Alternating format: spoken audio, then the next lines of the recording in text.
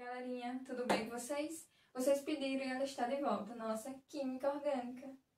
Hoje vamos responder questões, então vamos precisar de tudo que a gente já estava vendo, todas as nossas funções orgânicas, todos os nossos radicais, como dar o um nome e como identificar essas funções. Então pega um de vocês, corre aí rapidinho, pega o livro, o material que eu mandei para vocês, abre aí, para vocês irem acompanhando. Eu vou lendo as questões e vocês acompanhem daí, tá bom? Então, eu preparei algumas questões do Enem e algumas, acho que duas de, de vestibular somente. E as outras que ficarem, vocês vão responder em casa, tá? Ser o dever de casa de vocês.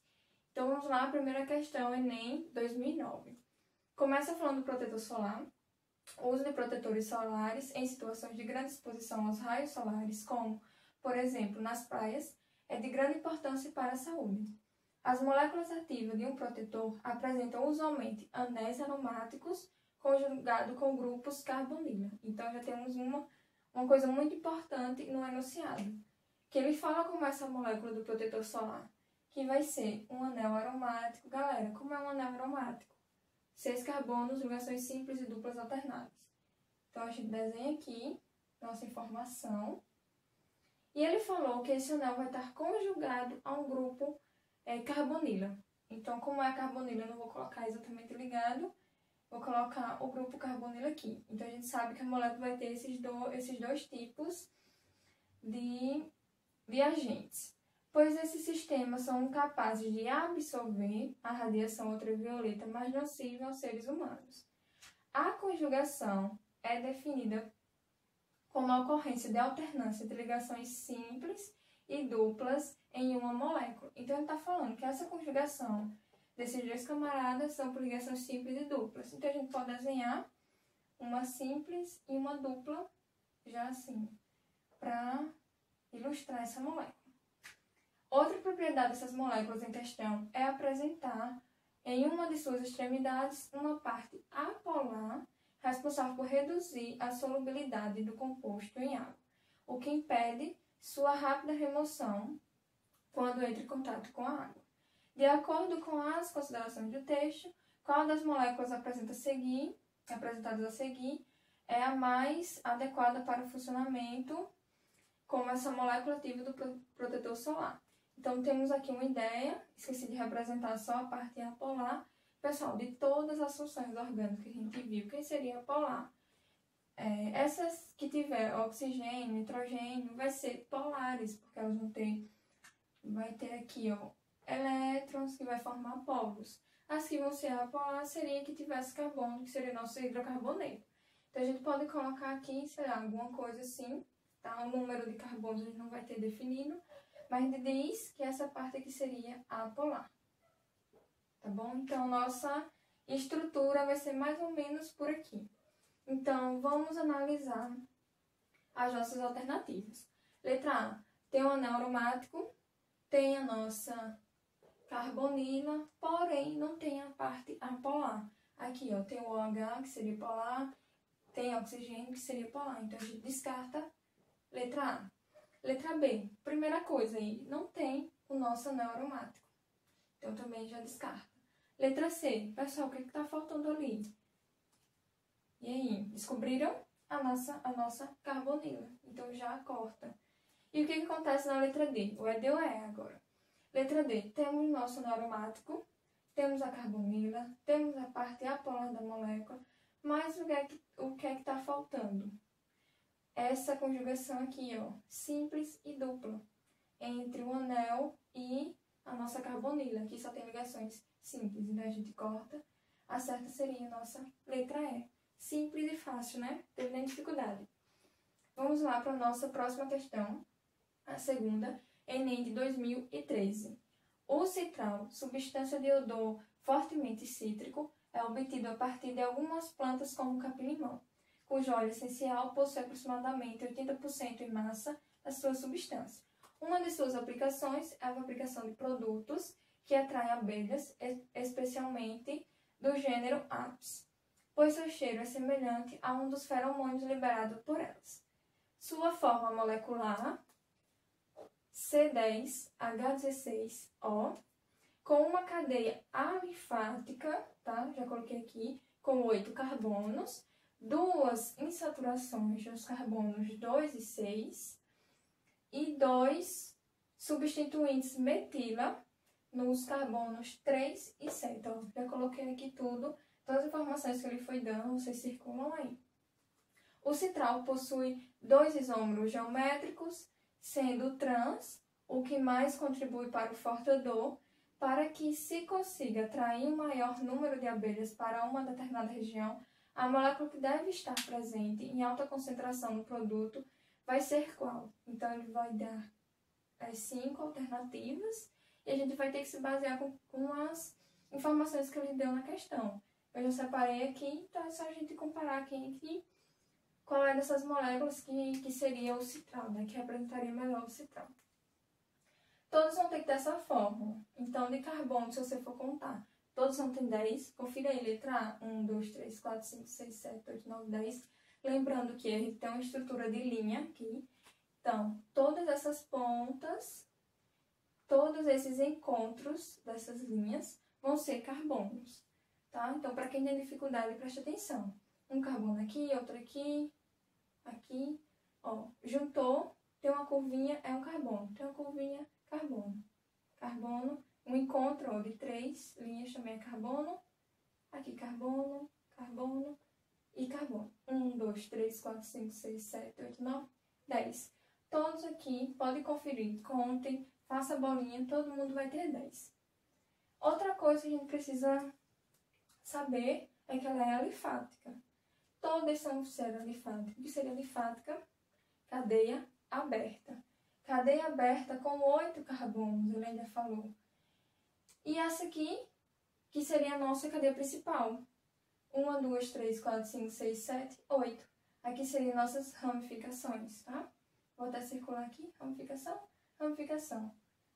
Todos que tiver duas ramificações vai, vai ter ramificações, vai ter esse, essa cadeia principal só com oito carbonos, ó, como vocês percebam. Ramificação, ramificação, ramificação, ramificação ramificação e ramificação. Então, todo mundo tem cadeia principal com oito carbonos. Galera, isso aqui não conta como ramificação. Isso aqui é a função orgânica, tá? Não vai contar. Só conta com, como ramificação quando é formado por carbono, composto de carbono. Outra coisa que ele falou, que no 2 e no 6 a gente vai ter insaturação, no carbono 2 e no carbono 6. E no 3 e no 7, metil. Então, por onde a gente começa a enumerar a nossa cadeia principal? Onde está o carbono que vai mais perto da nossa função orgânica.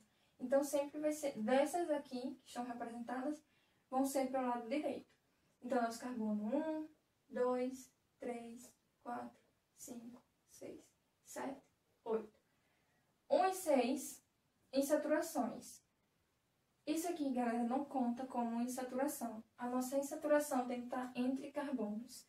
Aqui é da função orgânica. Então, a gente não conta essa ligação dupla como ramificação, desculpa, como insaturação. Então, no carbono 2 a gente tem uma insaturação e no carbono 6 temos uma insaturação.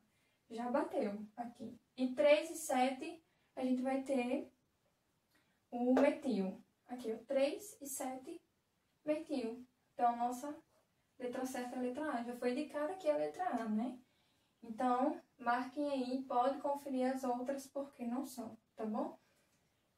Pra gente terminar essa primeira parte, vamos para essa aqui, que eu deixei bem aqui no cantinho, mas já pra gente ver, que é o Enem 2014. A baunilha é uma espécie de orquídea. A partir de sua flor é produzida vanila, conforme essa representação aqui, que dá origem ao aroma de baunilha, que a gente já conhece. É, tem essa representação e ele pergunta na vanilha estão presentes quais funções orgânicas. Hein, gente? Muito fácil, né? Isso aqui é vocês tiravam de letra. Vamos lá circular. Isso aqui é o que, galera? E esse aqui, eu vou abrir essa estrutura para vocês, ó. Esse CH3 vai estar tá aqui, ó, ligadinho. Nossa função orgânica. E aqui, como é que a gente vai representar isso aqui? COH. Ó, dupla O, H, circulou e circulou. Então, temos o que aqui?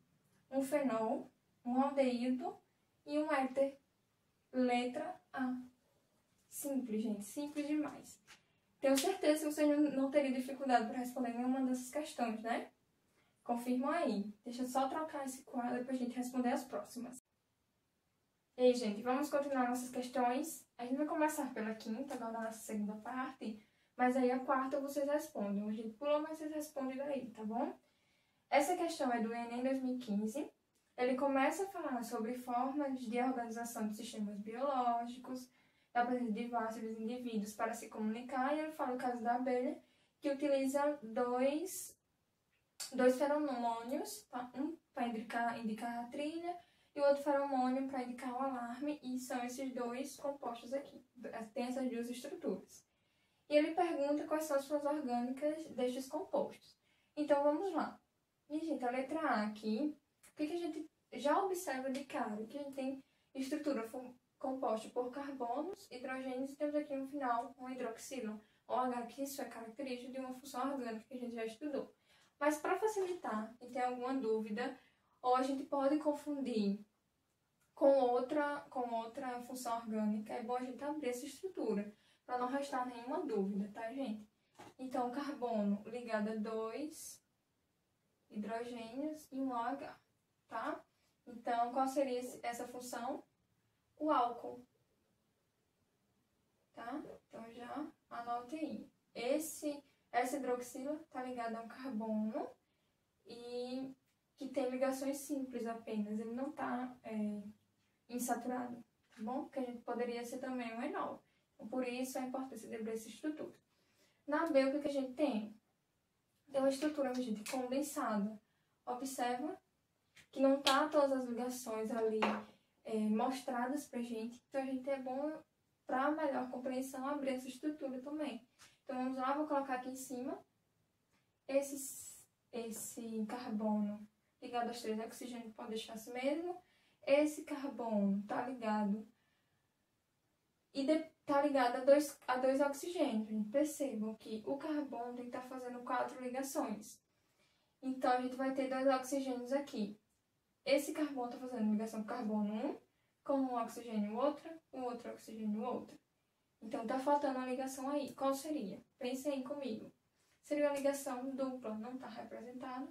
A gente tem que saber que ali é uma ligação dupla, a gente continua a estrutura CH2, CH e aqui essas outras partes. Mas o que importa pra gente é isso aqui, que caracteriza que função orgânica. Eu sei que vocês sabem. O este. Este. Então, álcool e este, qual a letra? Integração, letra A. Foi muito rápido, né? Vamos aqui para a nossa próxima questão, a sexta. É, temos três compostos e ele pede o nome de cada um. Vamos lá, rápido. Também essa, né? Simples, simples. Todas são hidrocarbonetos. Percebo que só tem carbono e hidrogênio, temos funções orgânicas. E aí, gente, o que, que a gente começa? O primeiro passo que a gente faz para dar nome dessas cadeias. E aí? Definir quem é a cadeia principal. Então, é que tem mais carbonos ligados numa sequência, né? É, geralmente a gente prefere porque escrever mais retos. Então, vamos lá. 1, 2, 3, 4, 5, 6, 7. Se a gente descesse, 1, 2, 3, 4, 5, 6, 7. Então, lembrando que cada pontinho desse seria um carbono cada curvinha, cada final, tá? Então, a nossa cadeia principal escolhida é essa aqui, com sete carbonos. Então, o que sobrar, gente, é ramificação. E essas ramificações são de que tipo? Só com o carbono. Então, gente, o nome vai ficar muito fácil. Aqui, primeiro composto.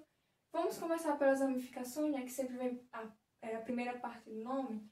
Então, por onde a gente começa a numerar esses carbonos? Por onde a ramificação vai mais perto do carbono 1. Então, se a gente começar daqui, ó, 1, 2, 3, a gente vai ter ramificação de carbono 3. E se começar daqui, 1, 2, vamos ter ramificação de carbono 2. Então, vamos começar por esse lado.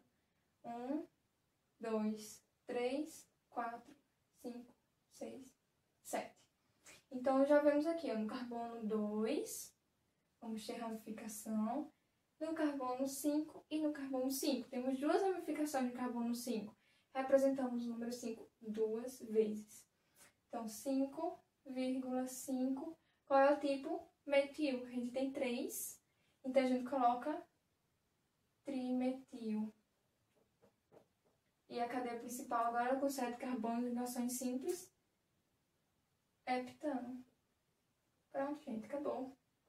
Vamos pro próximo. Primeiro definimos cadeia principal. 1, 2, 3, 4, 5, 6. Seja em D6. 1, 2, 3, 4, 5, 6. 6 e 6, vamos preferir para que tiver mais reta. Vamos começar a contar pela ramificação que tiver mais perto do carbono 1. 1, 2, 3. 1, 2, 3, 4. Então, ser por aqui. 2, 3, 4, 5, 6.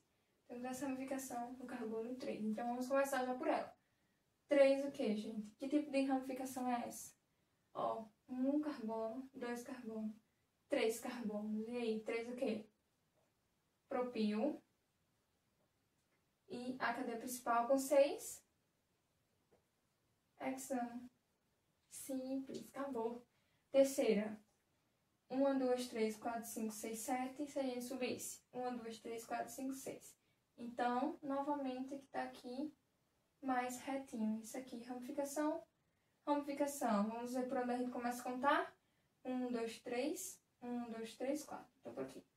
Um, dois, três, quatro, cinco, seis, sete. Então, vamos lá. Temos uma ramificação no carbono 3, que vai ser com carbono metil. Temos o carbono 4 com dois carbonos. Temos o etil. Então, quando tiver duas ramificações diferentes, a gente começa pela que tem por ordem alfabética. Então, entre etil e metil, o E vem na frente. Então, vamos ter um, composto 3, 4, etil, 3, metil, ca cadeia com 7 carbonos, só ligações simples, heptano. Então, vamos lá, gente. Qual foi a letra? Letra D. Pronto, fechou. Acabou? Assistir a questão. Galerinha, e para terminar, agora vamos responder a sétima questão, que é da UFU Minas Gerais, que ele fala que temos o hidrocarboneto. Apresenta cadeia cíclica, ramificada, saturada e homogênea é. Ele quer saber o nome dessa estrutura que tiver todas essas características que ele citou. Então vamos lá analisar essas alternativas.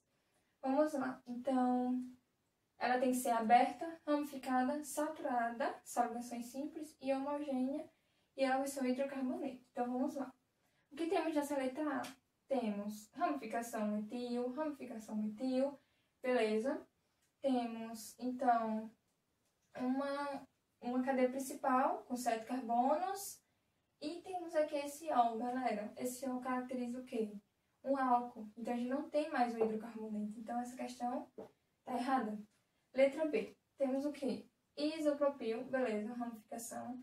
2, 3, 2, 4 e 5 trimetil, ramificação. Vamos analisar agora a nossa cadeia principal, o que é que a gente tem? Sete carbonos, temos um eno aí. Então, temos ligações dupla. Tem uma ligação dupla no carbono 2. E a gente, na nossa questão, tem o quê? Que ela é saturada. Então, descarta. O que, que a gente vai ter na letra C? 3 metil tá? Propil, heptano. E o que a gente tem na letra D? Etil, isopropil, metil, ciclo, hexano, ciclo. Seria uma cadeia fechada. Então, nossa resposta certa seria letra C. E gente, simples, né? Analisando a estrutura, as nomenclaturas, tem como a gente chegar à nossa estrutura. Pronto, responda as outras questões que ficaram tá? Para nossa videoconferência, tirar qualquer dúvida que vocês tenham. Questões do livro é muito importante também vocês responderem, tá? E fica aí para vocês uma dica do Pequeno Gafanhoto, tá? Que eu tô fazendo com todas as turmas essa dica. A dica é o seguinte, gente. Pra... É uma dica e um desafio, tá? Quero que vocês façam o seguinte. Coloque todos os radicais das nossas funções orgânicas em um papelzinho ou em uma cartolina, o que você achar melhor, em um post-it por exemplo, álcool.